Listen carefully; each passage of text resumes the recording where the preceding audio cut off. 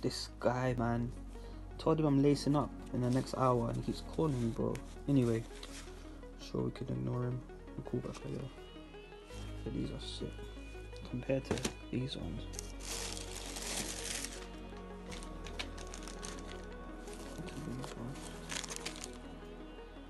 Wow, this guy. Hey, what's up, bro? Son of a bitch, you know, you're really no help at all, you know that? Bro, I am not going to sing Never Ending Story with you. Seriously, man, leave me alone. This guy.